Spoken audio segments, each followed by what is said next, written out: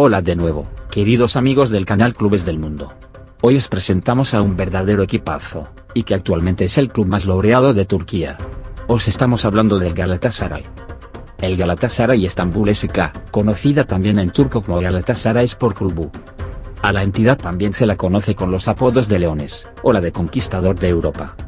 El conjunto amarillo fue fundado en 1905 por Ali Samiyen y otros jóvenes de la escuela secundaria Galatasaray Lisesi compite en la Superliga de Turquía, la máxima categoría del fútbol en Turquía. Es uno de los clubes más exitosos a nivel nacional, ya que en su palmarés ostenta 21 ligas, 17 copas y 15 supercopas, más que cualquier otro club. A nivel internacional es el único club de Turquía, que ha sido campeón europeo, específicamente el año 2000, cuando ganó la Copa de la UEFA y la Supercopa de Europa juega sus partidos en el Al Sport Complexi, también conocido como el Tuconderesis RK Telecom Arena, recinto deportivo inaugurado el 15 de enero de 2011, y que alberga a 52.650 espectadores. Anteriormente había jugado sus partidos en el antiguo estadio Alisa.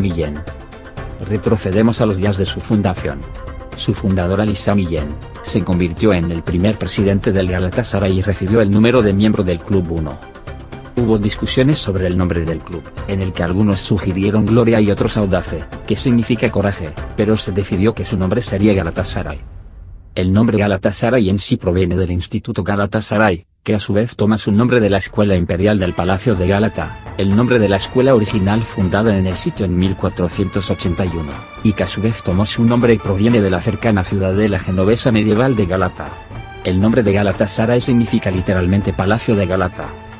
Según los investigadores, Galatasaray tomó su nombre de uno de sus primeros partidos. En ese partido contra un club griego local, los espectadores los llamaron Galatasaray Efendileri, que en castellano significa Palacio de Caballeros de Galata. Después de este incidente, adoptaron ese nombre y comenzaron a llamar su nombre Club Galatasaray. En los años 30 y 40, el club pasó por una sequía de campeonatos, logrando solo dos títulos regionales.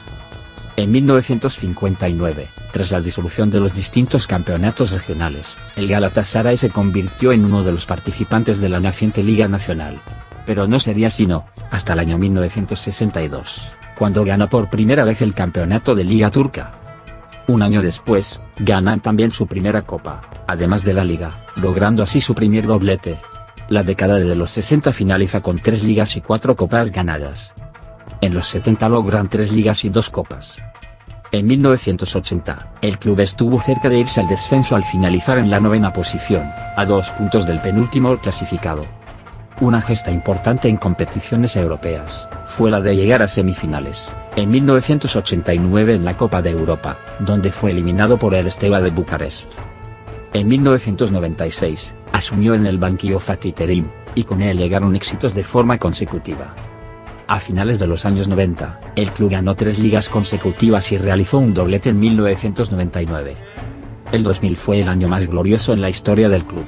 Tras el fracaso de la Liga de Campeones de esa campaña, el club participó en la Copa de la UEFA, empezando desde los 16 avos de final.